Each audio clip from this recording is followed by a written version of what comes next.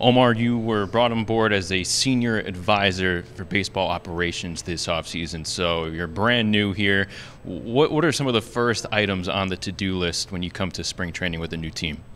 Well, the first item, of course, is to try to learn, be a listener, not a talker. Listen to uh, staff. Uh, for me to work, be able to work with Cash and work with the other guys, uh, uh, Booney and all that. Really to listen and to watch, and to really, as an evaluator, kind of see the system, see the players, but also how things are done. Uh, so for me, as a first-year guy, you want to just learn as much as you can, especially in spring training, where you have all the whole organization together from top to bottom, the players, the major league players, the minor league players, clubhouse people. So it's more of a learn more, listen more, say say less. Learn, observe, watch. This is this is low-hanging fruit for me here. What are you seeing right now? Well, what I am seeing, of course, is a very uh, a very professional, established organization that has been very successful. Uh, when you look at the track record as far as winning, uh, what I'm seeing also is um, uh, a leadership group uh, from Cash, like I said, that and Booney uh, that pretty much are focused with high standards. Uh, what I'm seeing, I'm seeing a minor league system that's developing players. When you look at the Dominguez, when you look at the Volpes, um, you got a good blend of guys. Um, and of course, is the brand, the Yankee brand. You know, as a you know, growing up in New York, you know, just the impact of the brand uh, and how much that brand, uh, how much the standards are uh, when you're a Yankee, uh, the expectations are. You expect to be playing in October, and where we are right now is not only playing in October, but expect this. You know, you, you want to get to the World Series and you want to win the World Series.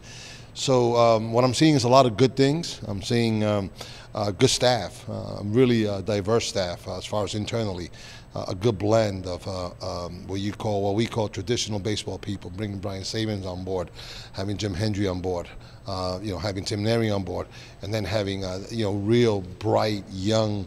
Um, data people, if you want to say call it data, some people call it analytics. I call it smart people. Uh, so you have a blend of that tradition with uh, working together. Uh, so to me, I've seen a lot of different things, and I can understand why this organization has been in the playoffs for so many years. When you talk about that blend, you have that scout's eye, and you mentioned two prospects that people want to know a lot more information about. What sticks out to you about Jasson Dominguez and Anthony Volpe? Well, as a talent evaluator, the first thing that sticks out to me is they play in the middle of the field.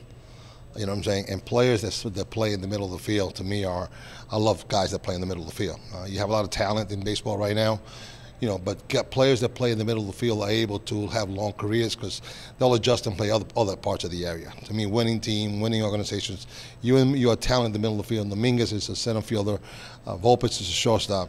Um, where they end up, you know, but I think they're going to play right, right where they started.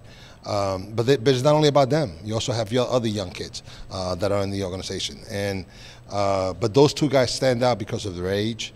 Uh, they perform well. They're playing higher levels, um, and they're baseball players. You know, one thing about Volpe is a guy that knows how to play the game uh, Jersey kid. I'm always going to be a little biased because being from Jersey, you're going to always be biased for those kids. But Dominguez, and of course, being Dominguez a Dominican, is another thing. So I'm in a good spot for these two guys. But it's not only about those two guys. There's other real good players in the organization. Yeah, there's some names on, on the upcoming for sure with the Yankees minor leagues. Omar, thanks for the time. Welcome aboard. Thank you for having me here and looking forward to it.